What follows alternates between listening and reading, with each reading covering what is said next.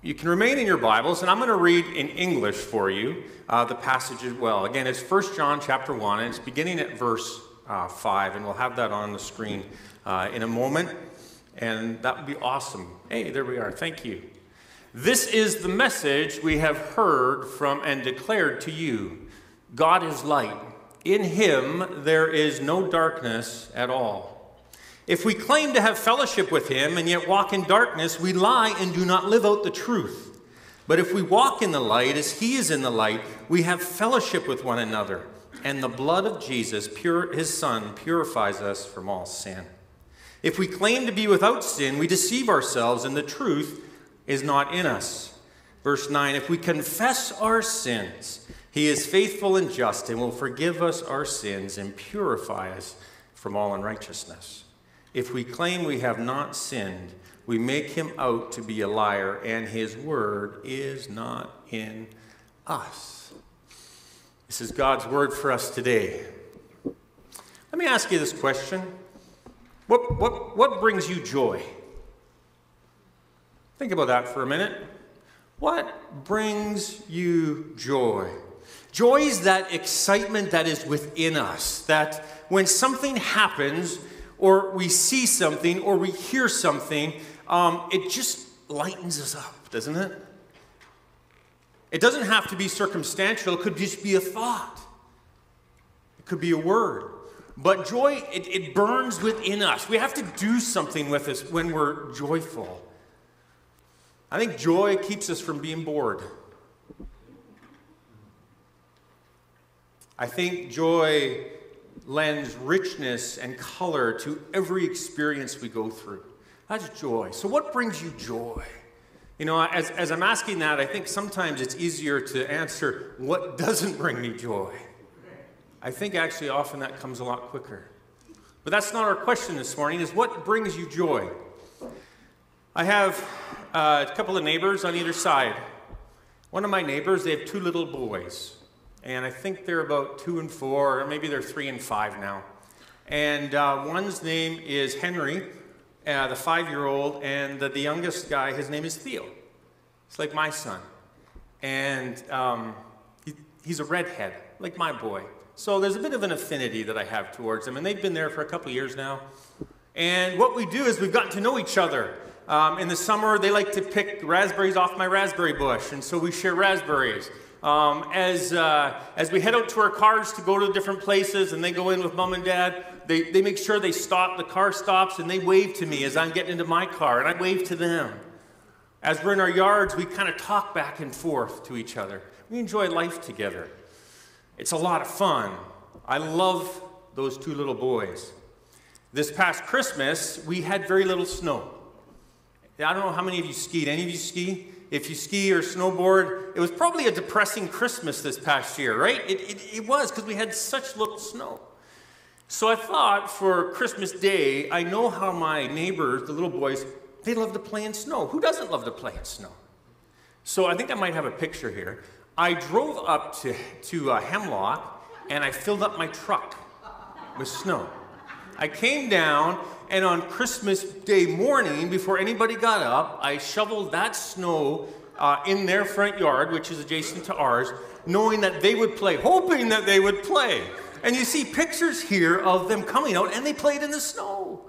They threw snowballs to each other. They, um, they, they built the snowman. I gave them a little kit, and they built the snowman and, and had a lot of fun. In fact, I had a lot of joy just watching them play in it. The one picture has the snowman covered with an umbrella. It poured at Christmas, if you remember. we wanted to keep it as long as possible. So um, January went by, February came, and my neighbors, uh, their father, he wanted to introduce his kids to what he enjoyed as a, as a child. And when he was a kid, what his parents did is they went camping and skiing. So they went winter camping. I don't know how many of you are into winter camping, but they bought a trailer so they could go winter camping. They drove it up to Manning, middle of February, and uh, went skiing. They were gone for about a week. I ended up leaving about the same time. I came home at the end of their trip and at the end of my trip on a Sunday night, and this is what I found.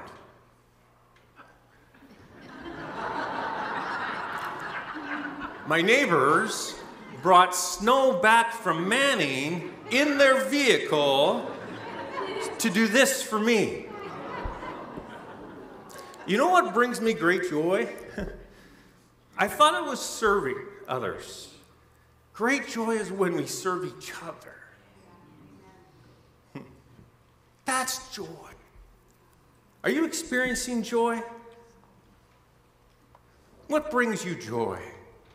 You know, Pastor Kyle last week began preaching in the book of First John, chapter 1, and he did verse 1 to verse 4.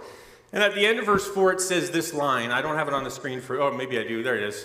We write this to make our joy complete.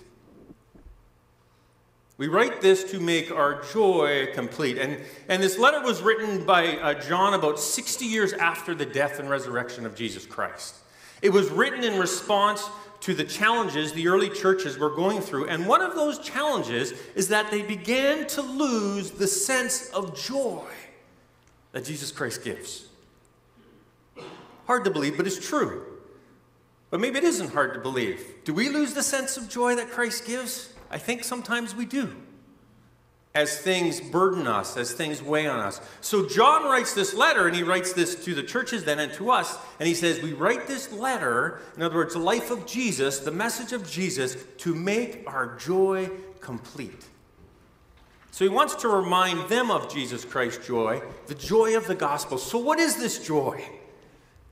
That's our question. It's two things. Comes in two things. One is this joy comes from truth. Joy comes from truth. Joy also comes from fellowship. Okay? Joy comes from truth and joy comes from fellowship. And that's really what we're going to chat for the next little bit about. And the first thing is this the truth. What is the truth here? You can read in verse 5, it says this. It starts off with this This is the message we have heard from him, that's Jesus Christ, and declare to you. And he says this God is light. In him there is no darkness at so here's our truth to wrestle this morning God is light. Whenever you're reading scripture and it says God is something, pay attention to whatever that something is. Because it means it's his character, it's, it's who he is, it's, it's how he is, it's what he gives, it's what we need, and it's the truth. So God is light. So, what does that mean? What does light do? What does light accomplish? What does God accomplish? Sim- simply put, if you want to understand the character of God, then observe what light is, what light does. I think one of the things that light does is it reveals. Light reveals. Light reveals us here. I can see you, you can see me. if there was darkness, I could hear you. You could probably hear me, but we couldn't see each other. Light reveals. What else does light do? Hmm. Darkness conceals, it says here in verse 5, but light reveals. I think light also reveals perspective. So I can see you, you can see me, but not only that, I can see what you wear, I can see what you look like. I can see how tall or how short, how young or how old. It gives us a perspective. We need perspective. Light gives us that. We need to see the big picture. We need to see the truth of things. And what God says is, He is light, so He will give us truth.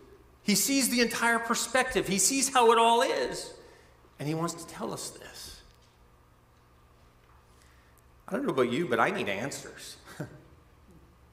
I need answers all the time. I think humankind is forever seeking to solve puzzles of life on every level. I need answers to the economic life. I need answers to the political life. Oh my goodness, we all need answers with that. I need answers with the social life.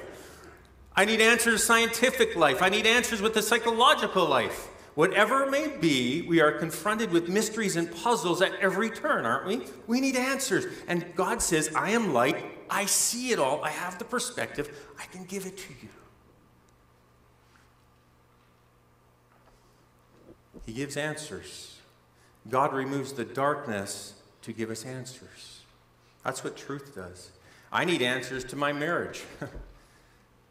I need answers to my past. I need answers to pain. I need answers to evil. I need to figure out what is death all about. I need answers to joy. I need answers to my purpose.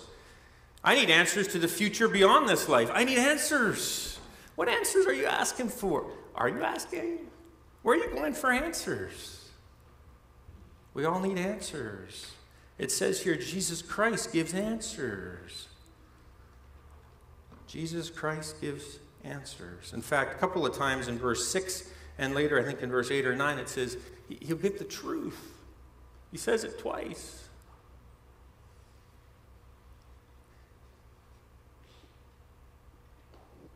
Light reveals, light gives perspective. And there's a third thing I think here. I know we can run with this pretty far, but light, I think, energizes us. How many of us love the sun? Wasn't today a great day to drive out to church? Is it more exciting to drive in the sun or in the rain? The sun or in the snow? The sun, right? Why? Because it gives us life. It motivates us. It gets us out to want to do something, probably more often than not. We love sunrises and sunsets, I think. It was great to see one last night.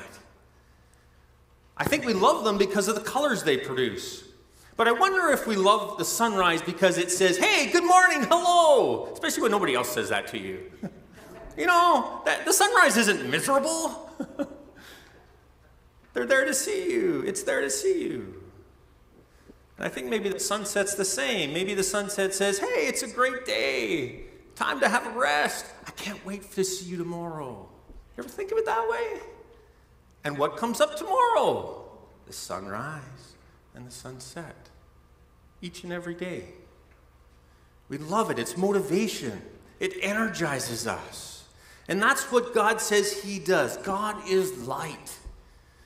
God intensifies, He fulfills, He glorifies our essential humanity. He does not destroy it. He takes it and He leads it on through the darkness into an ever growing experience of life and vitality and productivity. That's our God A few years ago, I had the privilege, I had, a, guy that came to the church I was in uh, named Greg, and Greg and I, Greg was a hunter.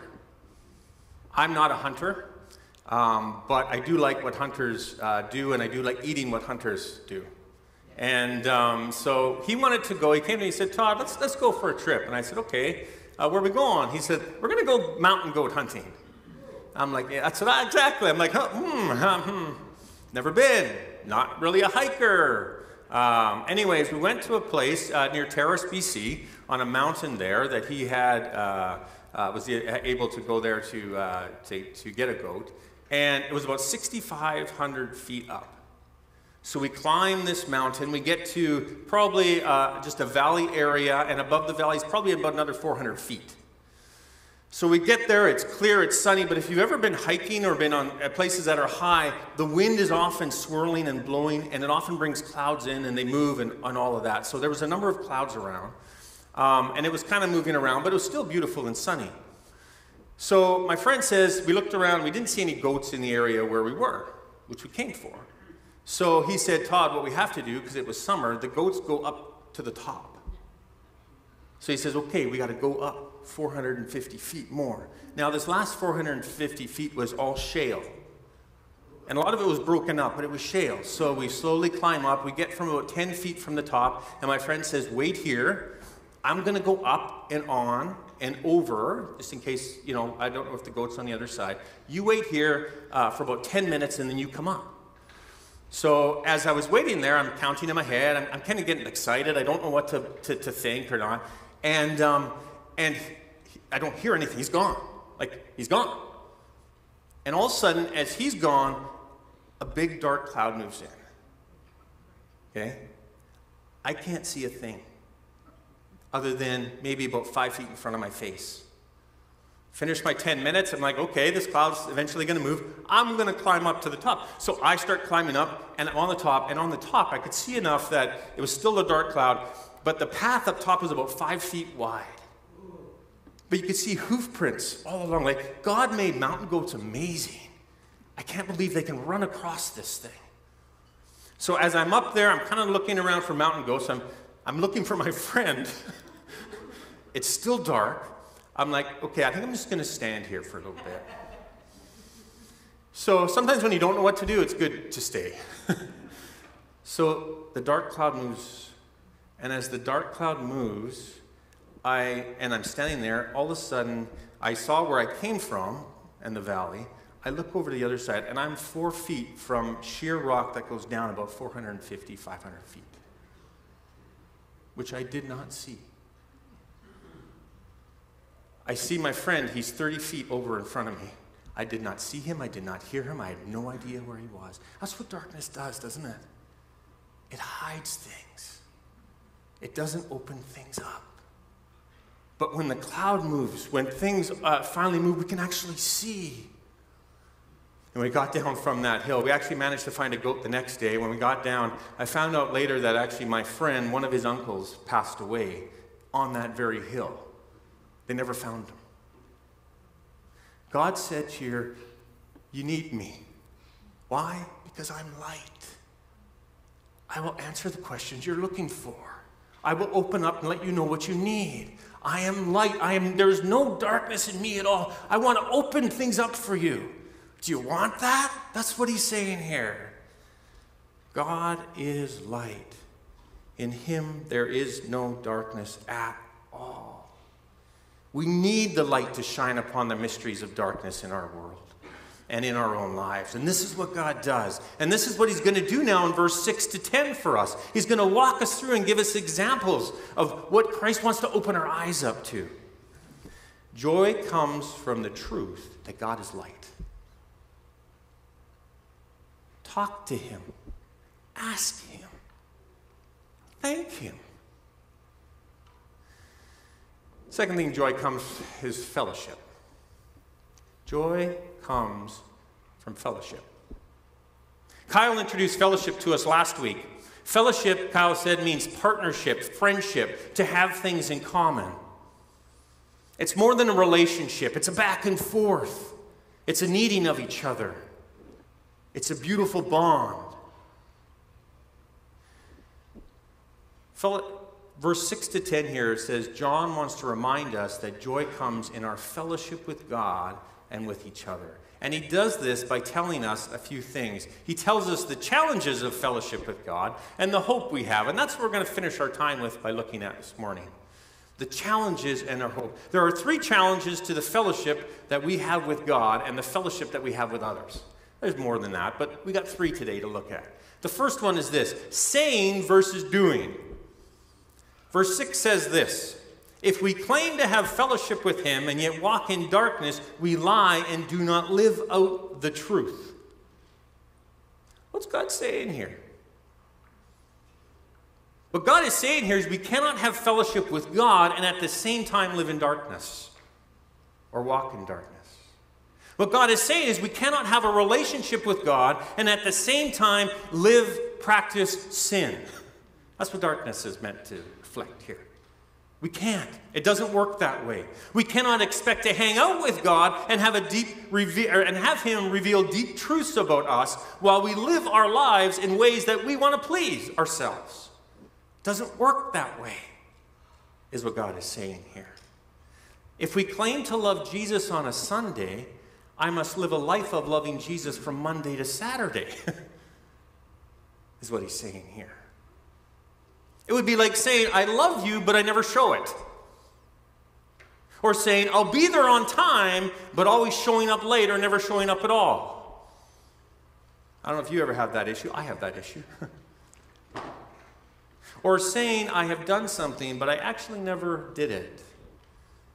He says, we, we lie we lie. What we say is always proven by how we behave. That's what God is saying. What we say is always proven by how we behave. When these don't match up, we actually lose trust. We lose relationship. We lose fellowship. And we know that, don't we? But get this when they match up, we build trust and we build fellowship. When I do what I say, it builds. And the same goes with us with God. If we claim to have fellowship with him and yet walk in darkness, we lie and do not live out the truth. And God says here if this is our relationship with God, stop it. That's what he says. In fact, we could probably take it even further. If this is our relationship with others, stop it. Ah. oh. I don't know about you, but okay, I need hope.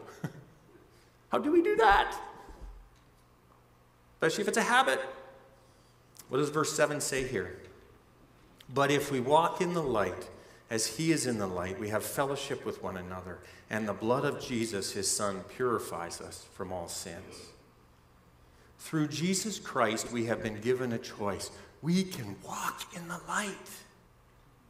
We can walk in the light. It doesn't say be perfect, it says walk. Like just begin step after step in the light. Walk with God. That's the relationship that He's asking from us. And we can do it. Why? Because God is light and He brings us along. Love this. Walk in the light as, he in the, as He's in the light means to walk as Jesus did. But it also means that we have the power to walk as Jesus did. You recall when Jesus was baptized here on this earth, what came down? Do you remember at all that? A dove. And then God spoke from heaven and said, This is my son whom I'm well pleased, whom I love. And the Holy Spirit came upon him. We have that Holy Spirit. In here, if you've accepted Jesus as your Savior and Lord and made that choice, we have the Holy Spirit who will lead us in light and in love and gives us the power to walk through the sin that we're faced with and challenged on a day to day basis. We've been giving Him. It says here, and as we walk in the light, we actually have fellowship with one another, and the blood of Jesus, His Son, purifies us from all sins. In other words, we will have joy that comes from a great relationship if we walk in the light. You ever walk in, in the light and discover a truth of God, and all of a sudden you're just like, oh, where was this? Oh, I can't wait to have that. We will have the joy knowing that our sins are forgiven and forgotten by God as we walk in the light. That's our hope. That's God's promise. He does that. He does that. Challenge number two self deception and limited perspective, I think. Self deception and limited perspective. Notice what it says in verse 8 it says, If we claim to be without sin, we deceive ourselves, and the truth is not in us. You know, sin is that fallen, twisted thing in our minds and in our experience that makes us want to play God on every occasion. That's what sin is. Sin actually is wanting to be like God, Genesis 3. they wanted to make choices for themselves, Adam and Eve. They wanted to understand good from evil. That's what they wanted to know. And I think that's what we do too. We crave it, actually. We know how this is. We want the world to revolve around us, don't we? Don't we always want to be the center of things? Maybe not publicly, but, but we want to operate as if we're the one that everything operates around. We always want to be the center of things. We're self centered, and this is sin. It goes by other names, it goes by pride, selfishness, or independence. And that is the root, the twist in human nature that makes us commit sin.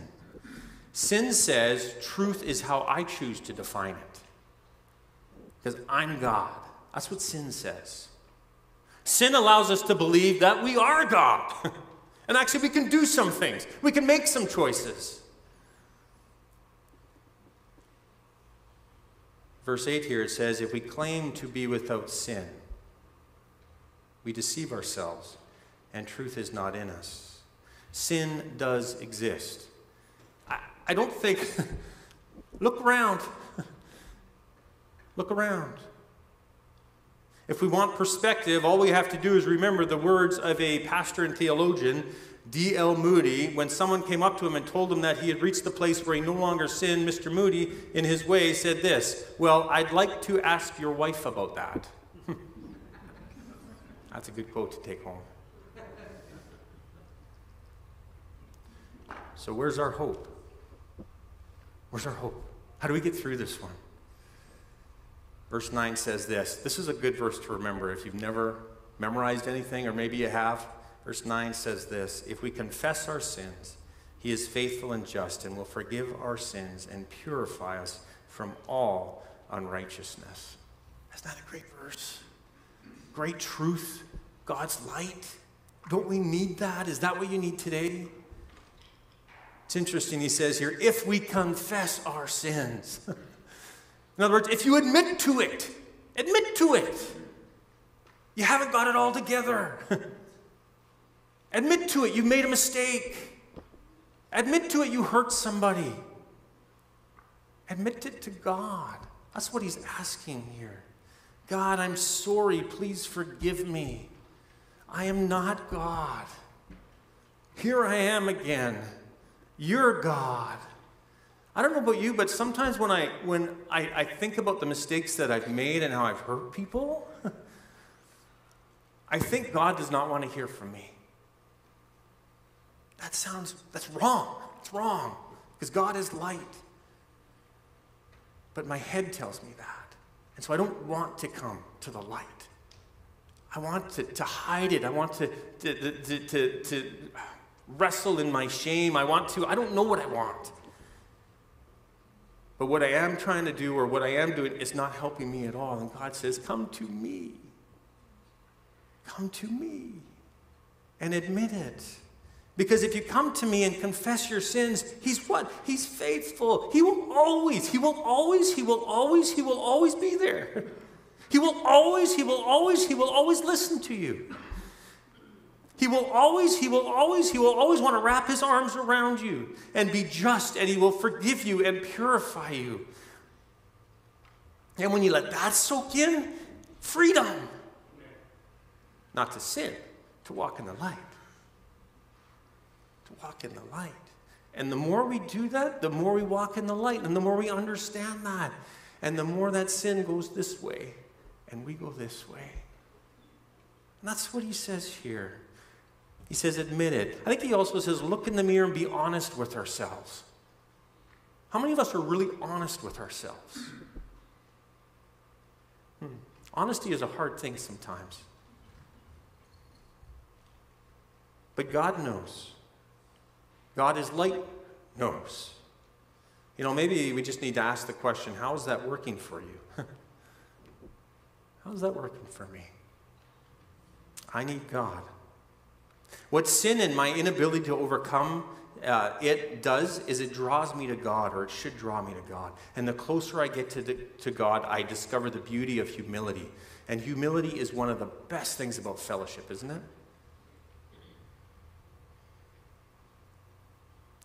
Wouldn't this be a great way to develop relationships? If we um, are honest, if we admit to our challenges and our faults, if we forgive, it is. It's beautiful. If we confess our sins, He is faithful and just and will forgive us our sins and purify us from all unrighteousness. We then get joy. Others then get joy. Last challenge here it says in verse 10 if we claim we have not sinned, we make him out to be a liar, and his word is not in us. Hmm. Are you, are you noticing the progression here? We're not going to spend much time on this one, but notice the progression. It goes from being a, a, a, liar, just you know, doing a little bit of sin, trying to dabble in it, trying to do gray. There's no gray with God; it's black or white. But we start with a little bit of sin, and then it goes down to the next one that says, if we claim we have no sin. So, so it just gets a little heavier, a little darker. And then it gets to this one, it says, we claim that we have not sinned. we have never sinned. That's what happens when we walk in darkness, is we start believing lies. We start writing our own narrative. and it pulling us farther and farther away from God. And that's what's happening, John says, if you don't walk in the light. You're actually calling God, Creator God, life giving God, God who knows us, God who is light, God who is love. You're calling God a liar. That's what he says here. Whew. So, what's our hope? Chapter 2, 1 to 2, and we're not going to spend much time because I think this is going to be next time for you, but I have it on the screen here, I think. Um, says this Here's the hope. My dear children, I write this to you so that you will not sin, but if anybody does sin, we have a advocate with the Father, Jesus Christ, the righteous one. In other words, when we're judged, Jesus is there with us. He's leading us. What's kind of interesting is he's the advocate, but he's also the judge. I haven't figured that one out fully yet. But if that's true and I'm loved by him, then that's got to be a good thing. But then it says also in verse 2 He is the atoning sacrifice for our sins, and not only for ours, but for the sins of the whole world. In other words, He's taking care of what needs to be taken care of. Save that for next week. Let me finish with this. Um, back in November, I got a phone call. And uh, it was uh, from a friend's wife. And she phoned me in tears, and I said, "Hey, what's what's wrong?" And she's and I hadn't talked to her for uh, probably three, four, five years. And um, she said, uh, "I just want to let you know that your friend died." Like what? What? Yeah. My friend I'd known since probably 2003 or two. Good friend of mine. We spent a lot of time together we had to work, we worked through a lot of issues together uh, with our families, with our own challenges. And uh, I met him in Smithers, and he stayed living in Smithers when I moved down here. And, and I was sitting there in shock, and I was remembering our good times together. And uh, as I was remembering our good times together, I'm like, what in the world happened? I needed answers. I need to be in the light. And um, so his wife started explaining some of the things that went on, and she said, You know, Todd, um, I came home one day and I found a note that was on my desk. And on that note, uh, or, or my husband never came home for the afternoon, which is odd. He never came home for the evening, which is odd. I didn't know where he went, what he did. I had no idea. But I managed to find a note, and on that note, it said, Don't worry about it. You and our family will be taken care of.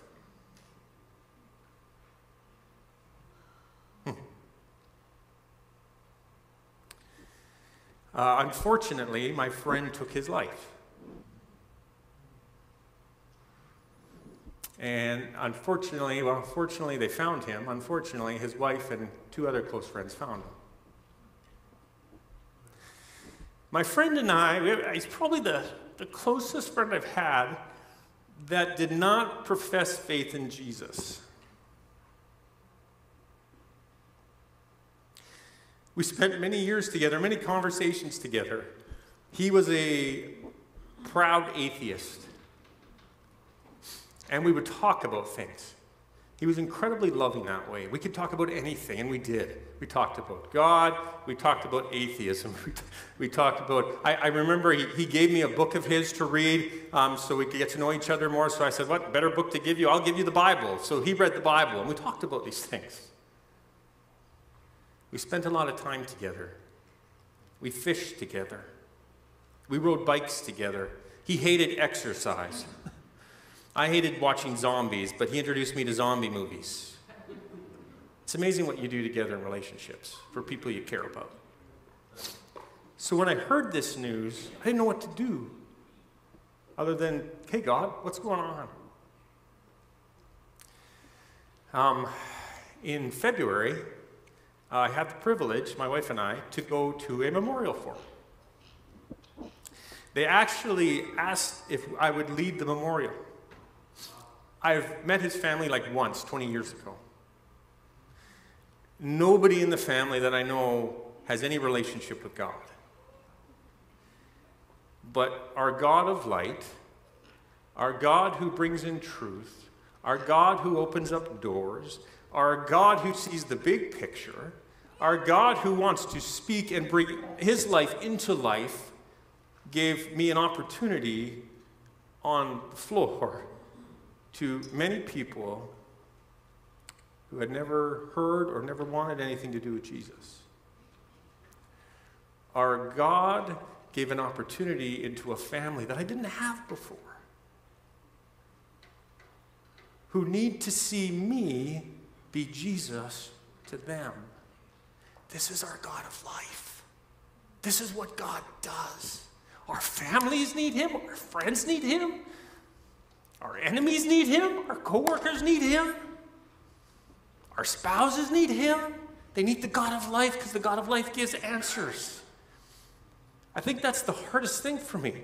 I can't sit with my friend and give answers anymore. That hurts. Now, where he is is between him and God. But until that day, our people need God of light. But even more than that, our people need truth that comes through us to others, fellowship through us to others. That's how it works. That's what John says. And it's possible because God is the God of light, not the God of darkness. Let's pray. Heavenly Father, thank you for being God. Thank you for, for being the God of light. Thank you for being the God of truth. Thank you for, for bringing truth to us. Thank you for being, bringing us into fellowship. It's you that has done all this work to bring us to you. It's not me, it's not us. And we get to rejoice in that, and that does bring us joy. Lord, I pray that you would burden our hearts for those around us, burden our hearts for those who need to hear your joy, those who need to experience your peace, those who need future with you and present with you. Lord, burden our hearts for each other and our church family who need it every day. And I ask these things knowing full well that you are answering this. And we get to experience this as we walk in the light, as you are in the light. Heavenly Father, thank you for being beautiful to us and to our world. In Jesus' name I pray. In the name that gives life where there was no life. His name we pray. Amen.